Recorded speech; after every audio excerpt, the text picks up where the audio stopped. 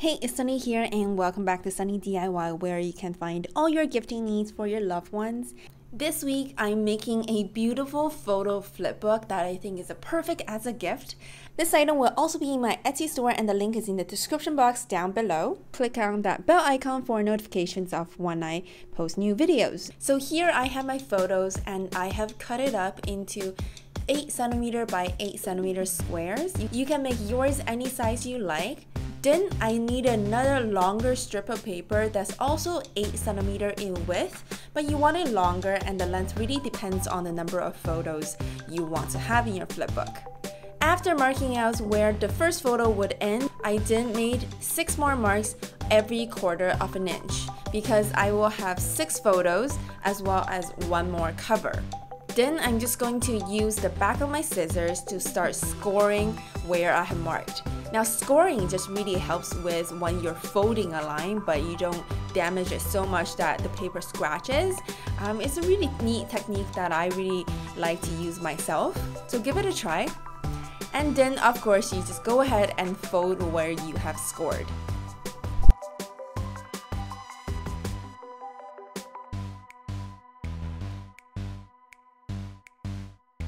For the next step, you want to start gluing down your photos and I'm only applying glue to about the first quarter of an inch of the photo um, so that it's movable.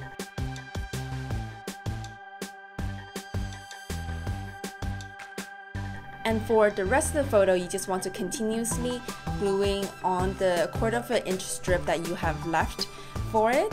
Be sure when you glue it that you don't stick the top photo onto the bottom photo. Just really be careful with that. Um, and do that to all the photos.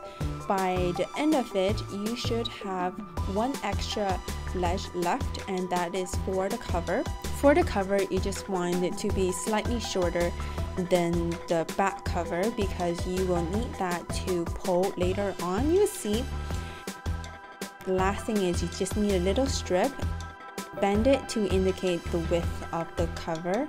On the strip of paper, I'm only applying glue to the two sides. So the strip should only be glued to the top layer and not the bottom layer.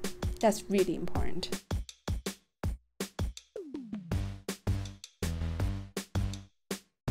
now I'm just going to decorate the cover and um, you can do it however you like put a picture on it but I'm just going to do this really quick decoration